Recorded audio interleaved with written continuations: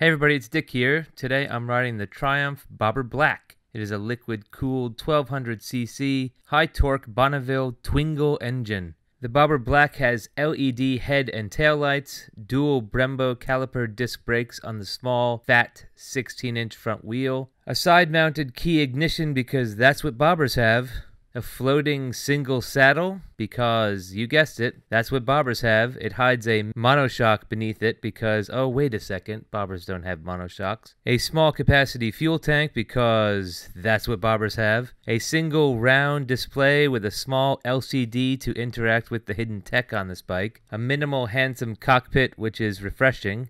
The rear lights look like nacelles off of a Federation class starship, hiding that sexy stocking seam running the length of the rear fender. Be careful though, if you follow that seam to the top, you see that monoshock again. I won't lie, I went into this ride with major preconceptions. The bobber has a lot of work cut out for it if it wants to win me over. But first, your exhaust note.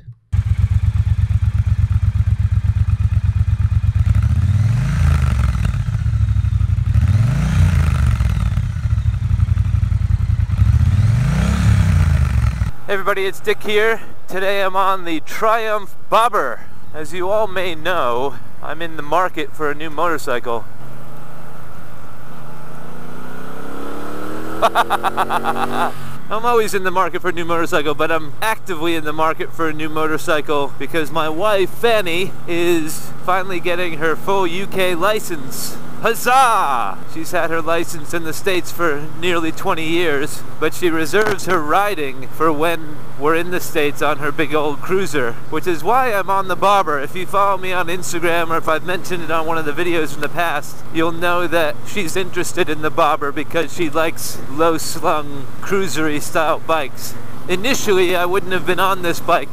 I think the bobber name is kind of a bit of a a lie or a, a, bit of a con, if you will. My idea of a bobber is something that's been bobbed, that's been cut and tucked and trimmed, and most of the time rear suspension has been eliminated on bobbers. Most bobbers I knew from the past, the custom bobbers, would be hardtails, especially welded hardtails with a straight line from the.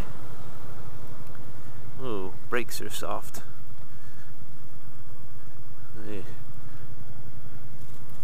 With a straight line from the head tube down to the rear axle dropouts. So it's a bit of a stretch for me to call this a bobber. But if I get over my preconceptions, which has kept me off this bike, and focus on what's gotten me on the bike, my wife's desire to go out riding with me, which is an excellent thing because it only means more riding, then I can look at this. Let's pretend it's not called a bobber, and I'll look at it. The Triumph Cruiser, the Triumph Solo Saddle Cruiser. It is powerful. It's a 1200 cc. What am I going? I'm lost. It's always fun to get lost, but not in a parking lot. Well, this is interesting because it'll show you the roundabout Oh, it's not that bad this time. This is the Bobber Black. So this is a little different than the stock Bobber that initially came out. I think it was back in 2015. I could be wrong. But the Bobber Black has a 17 inch, maybe even a 16 inch front wheel with a big old fat tire on the front. And I am noticing that fat tire on the front on kind of U-turns and sharp turns. It's not as confidence inspiring as say a 17 or an 18, but it looks a lot cooler.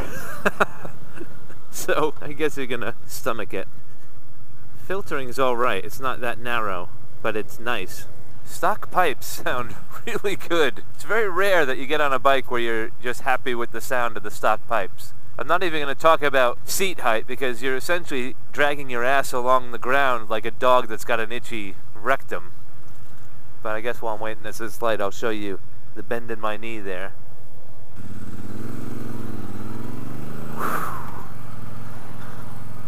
This thing.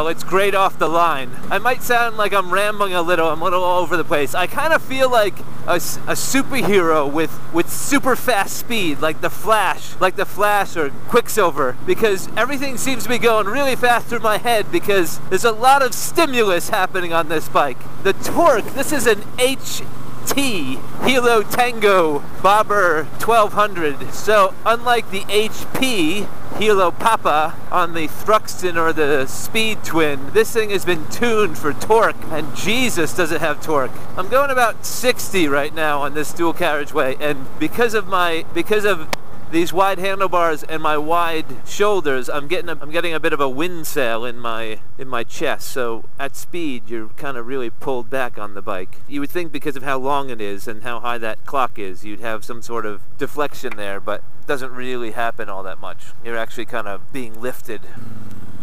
Man, that's mean sounding. I'm gonna bring it on the highway because I'm still moving at this super fast speed in my head. And then hopefully I'll gather my thoughts and be able to tell you what I think about this thing. It is really low and the weight seems really low but I don't know if it, the weight seems really low because it's all really low because really when I'm tipping it one side or the other it feels like I can easily drop it. It's it is kind of top heavy for how low it is which is an odd sensation. This solo saddle which seems to kind of just cup your ass like your girlfriend at the eighth grade dance you would think you wouldn't have a lot of comfort or you'd feel kind of locked in but it's incredibly comfortable Holy shit! Suspension is stiff. I don't know what the adjustments are on the suspension. I think it's cartridge forks. There's no adjustment at the top there. And that rear suspension really just pile drive me. I've decided to take it out on the highway. False neutral, all the way up, Dick, and it's bumper to bumper traffic. Well, maybe I'll try some filtering instead of some highway speeds. It looks like the other side on the way back could give me some highway speeds. It's it's running on rails. I mean, straight straight on it is really really planted and and balanced and fun takes very little effort on the handlebars to motivate it one way or the other but like I said it feels a bit wobbly I take that back that was nice maybe I'm just getting used to how the weight is balanced on it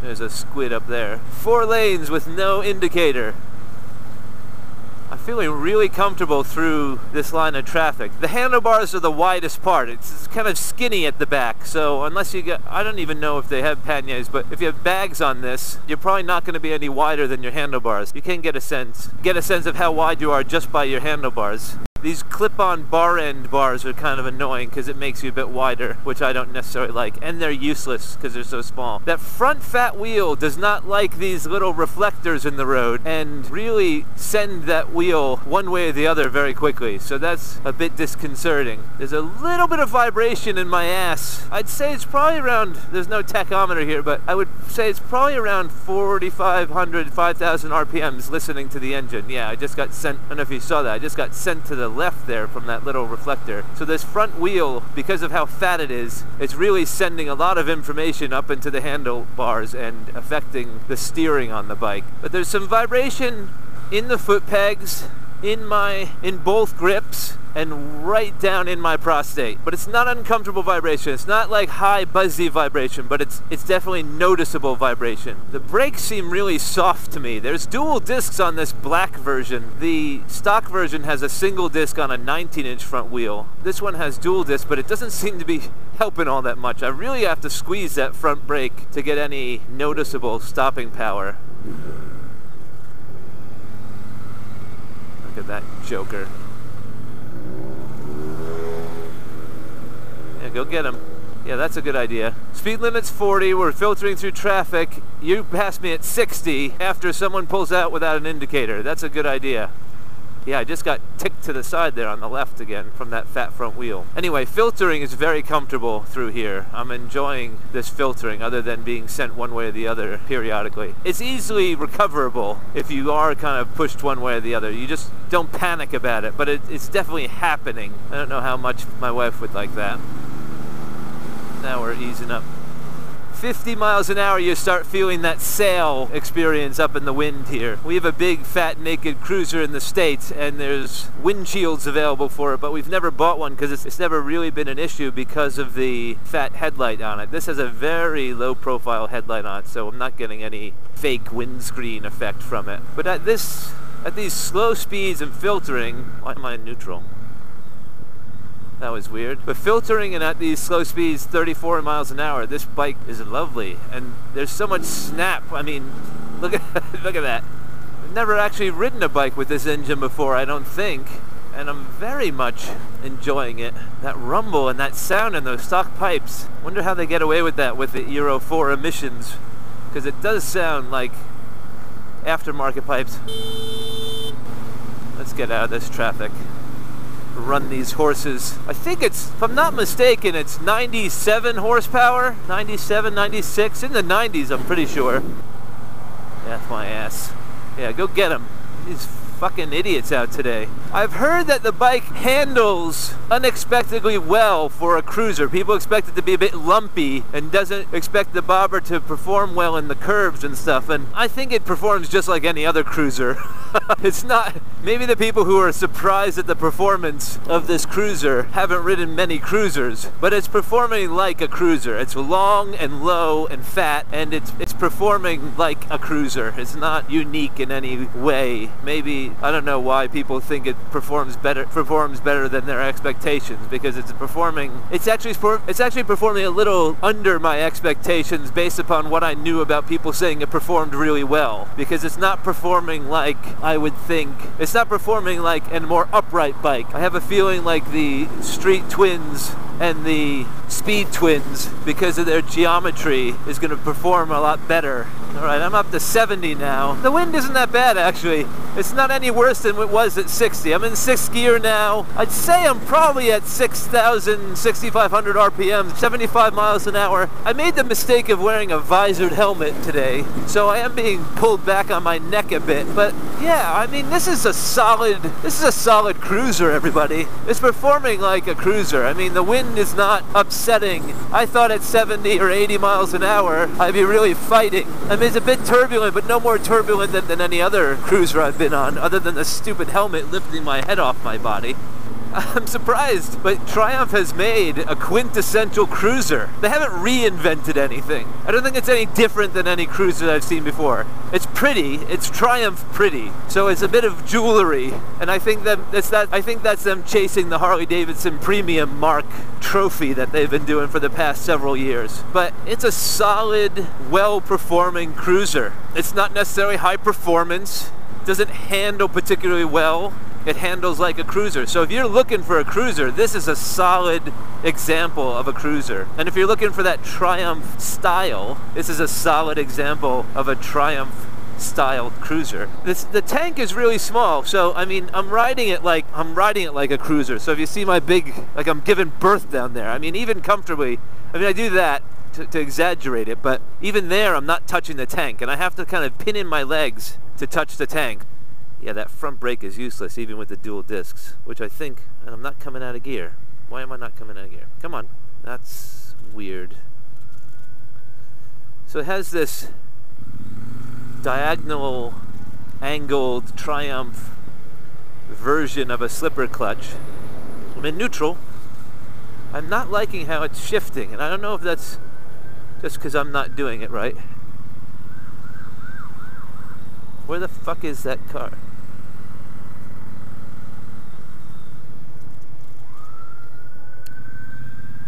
Where is it? Looking for an ambulance, but I don't know where it is.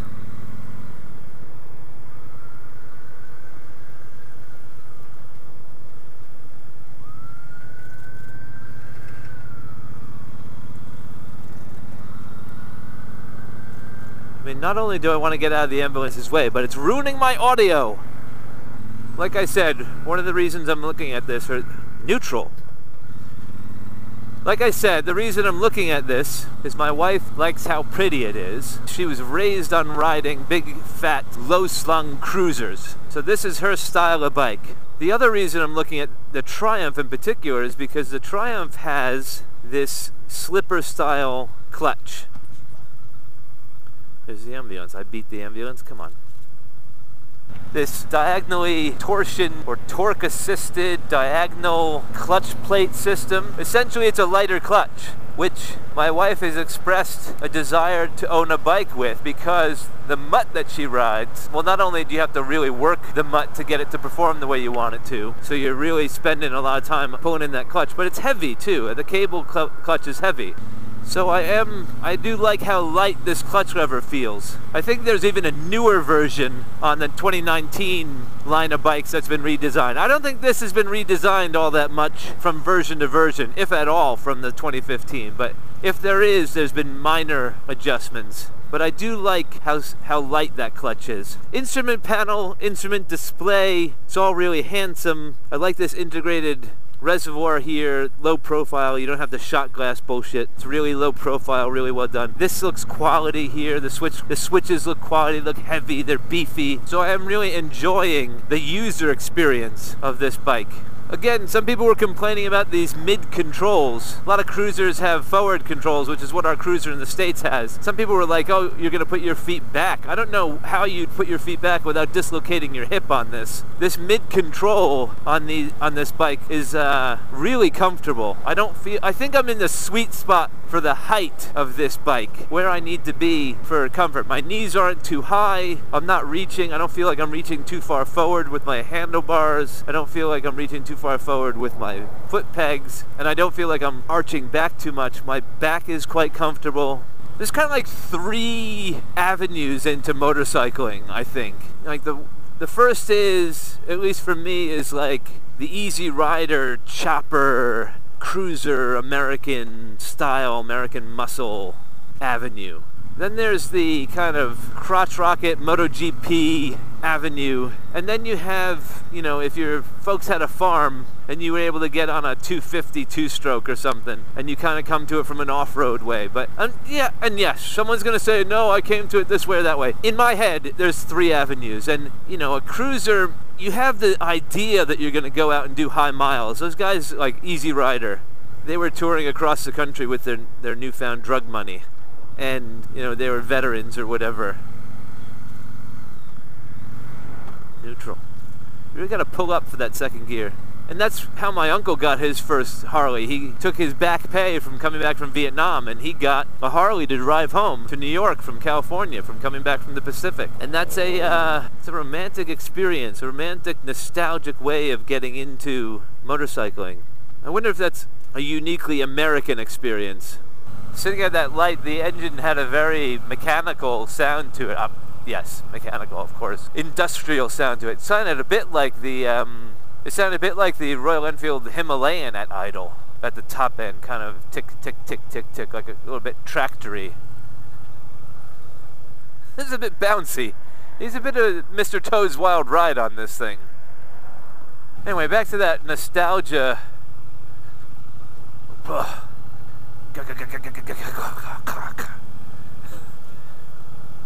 Back to that nostalgia. This bike is definitely built on that cruiser Route 66, dare I say Harley Davidson Indian motorcycle nostalgia. But I'd argue that although this is a I don't want to say a caricature. Uh, let me say it's inspired by. Although this is inspired by those bikes that came before it, those cruiser bikes that came before it, this is a very authentic tribute. Let's call it a tribute instead of a caricature. This is a very authentic tribute to what a cruiser is. It's very thought out. It feels very thought out. It feels a lot more thought out than I gave it credit for it when I first saw it. And, and I've been kind of reluctant to have my wife like it as much as she does, but I'm having a little bit of a love affair with this thing. I mean, don't get me wrong, it is not a performance machine. It hauls ass. It's fast and it's torquey, but if you're going to race this thing, you're going the quarter mile in a straight line. Do not, one of the reasons I got into sport tours, or kind of adventure style sport tours, but no, sport tours. One of the reasons I got into sport tours one of the reasons I got into sport tours is because I took our cruiser on the Blue Ridge Parkway at Skyline Drive down in the Shenandoahs in Virginia. And that bike could not keep up with what I wanted to do on those roads. Those roads are glorious riding roads but I wanted to ride it faster than my cruiser would allow. It always felt like the rear wheel was kind of coming up behind me and the rest of the bike couldn't handle the performance. And I could see that this bike probably would give me the same niggles, which is why when I went home, I literally the next day bought a sport tour so I could go back and do the that road again. You're buying into that nostalgia. You're buying into that muscle. You're buying into that that cool, that cruiser cool. So you're buying into that cruiser cool, but who cares? you know, it's like when it's like when I bought our, our V8 5 liter Discovery. I was always I was reluctant to get an SUV, like a Chelsea tractor luxury SUV. And again, my wife really, really wanted one, and my wife gets what she wants. Or I'll be damned. I'll be damned if my wife doesn't get what she wants. So when we finally bought this supercharged V8 5 liter Discovery, and I was riding around, I knew people were judging me. I was judging myself. But the car is so, well the car, the truck is so cool that I don't care, judge me. I'll judge myself. Who cares? It's so nice. And I have that kind of same feeling about this. I know I'm judging myself for liking this. I'm kind of grumbling at myself for liking this. And while I'm riding, I'm like, who gives a shit? Go ahead, judge me yeah, maybe it's a bit hipster, maybe it's a bit wannabe on its page, but they've made this ride so good. That's not so good. No, no, no.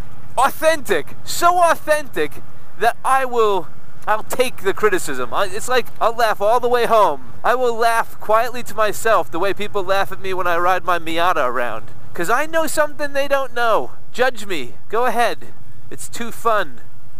It's too fun to worry about you judging me. I know I'm going to upset my new friend Will, who was kind enough to let me ride his Harley Fat Bob a number of times. But I think this is a this is a better cruiser than what Harley's putting out now. It just screams. This is a fun, fun bike. I'm very much enjoying this. I'm getting used to it too. My brain is slowing so I can take it all in and it's loving all of this sensory input even that little vibration down in my ass, it's kind of pleasurable. It's almost as sexual as the R9T. That's what it is. It's, it's, it's visceral, it's authentic, it's tactile. It's completely unintuitive to my sensible motorcycling brain. It's, it's tapping into something so much more primal. And I swear, my wife would look good on this. I would not mind following her while she rides in this bucket seat. Huh. That's funny. I could easily filter here, but I'm happy to sit in traffic. Maybe I'm back in America in my brain. I'm back in America, sitting in traffic. Big fat cruiser, sit in traffic. Just enjoy sitting on it. Yeah, I have to say, I am... I'm convinced. Not convinced. I'm converted. Yeah, that clutch is nice and light. I'm not fatigued at all. I've been on this about an hour and I'm reluctant to get off. Two modes. This big button does the road mode, then to rain, back to road. I think it's a traction and power. I think it's a combination traction and power adjustment. Neutral again. Huh.